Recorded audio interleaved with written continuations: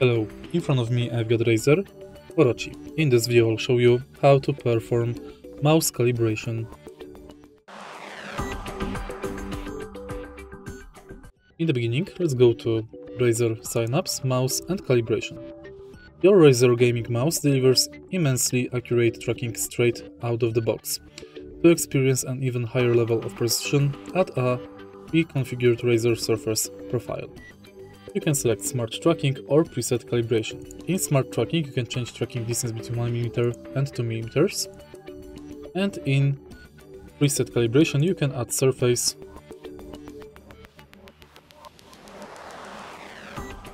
and calibrate it.